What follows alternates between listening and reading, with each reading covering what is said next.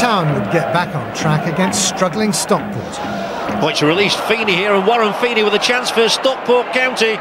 And the side at the bottom of the league scores first in only the second minute. Huddersfield nil, Stockport 1. Huddersfield trying to hit back straight away with Ahmed's corner, and it's an Andy Booth goal. What an equaliser! Super header from Booth. Four minutes played, both teams on the scoreboard. Mirfin hits it long. It's a terrific ball from Mirfin, and Abbott may capitalise on this. It's a clever, clever finish. Pawel Abbott showing why he's one of the top strikers in the league.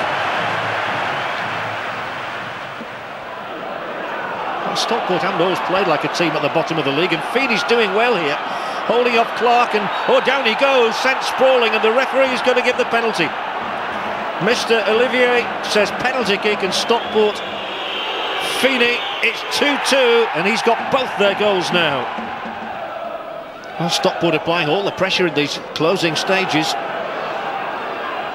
And it's a knock back in again, and Feeney will angle a little header in here, and Stockport County and Warren Feeney have three goals. The long throw, such a good weapon in the armoury for Huddersfield Town. It's Mirfin, cleverly done by David Mirfin, a defender turned striker. Eight minutes to go, 3-3.